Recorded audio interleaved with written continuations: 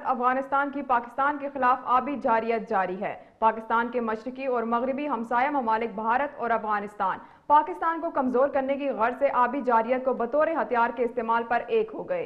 अफ़गानिस्तान में डैमों की तमीर के हवाले से भारत और अफ़गानिस्तान के दरमियान माजी के माहों पर दोबारा से अमल दरामद पर एतफाक राय हो गया। माजी में पाकिस्तान का असली दुश्मन भारत पाकिस्तान के खिलाफ आबी जारियत को इस्तेमाल करके हमारे दरियाओं को खुश्क और हमारी ज़रात को नाकाबले तलाफी नुकसान पहुँचा पहुँचा गया। भारत के बाद अब अफ़गानिस्तान भी आबी हथियार को पाकिस्तान के खिलाफ इस्तेमाल करने की तैयारियों में मसरूफ है।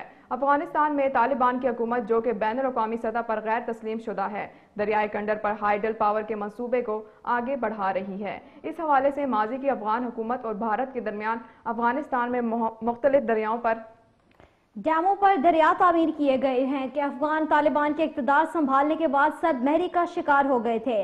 मगर Afghan news agency Khaama Press के मुताबिक अफगान हुकूमत ने काबिल में शाहतूर डैम को मुकम्मल करने के लिए भारत को दरख्वास्त कर दी, जो भारत ने कबूल कर ली है। अफ़गानिस्तान में डैमों की तमीर के हवाले से अफगान तर्जुमान जबीउल्ला मुजाहिद का कहना है कि हमें अपने पानी का इंतज़ाम करना है, चाहे वो कंटर हो या फराब अफगान आबी जारहियत से सिर्फ़ पाकिस्तान ही नहीं, बल्कि ईरान भी मुतासर हो रहा है।